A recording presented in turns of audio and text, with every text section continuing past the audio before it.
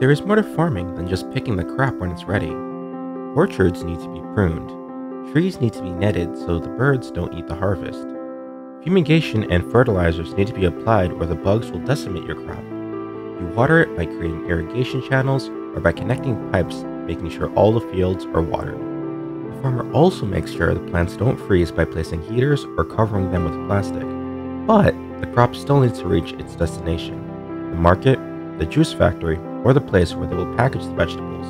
There's a lot of work in order for the harvest to be ready. The Seventh day Adventist Church has a very good system to preserve the harvest until it is ready for heaven. Our offering today goes to the local union conference. This is one of the levels of the church whose sole purpose is to support the local conference to get the harvest ready for the second coming of Jesus. Today's offering is for the local union.